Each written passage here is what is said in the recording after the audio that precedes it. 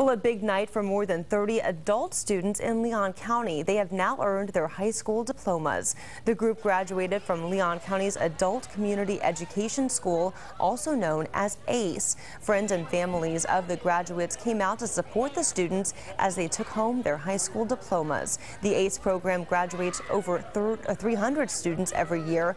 While in the program, students take classes to prepare them for the general education test and for their future careers. One of last night's graduates is running for a seat on the Tallahassee City Commission. He says he's thankful for the program and can now achieve his goals.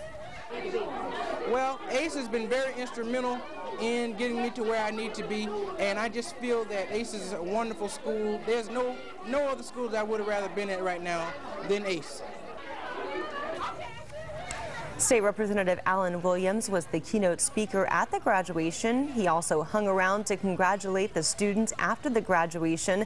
The program director says students are welcome to sign up for the program anytime during the year.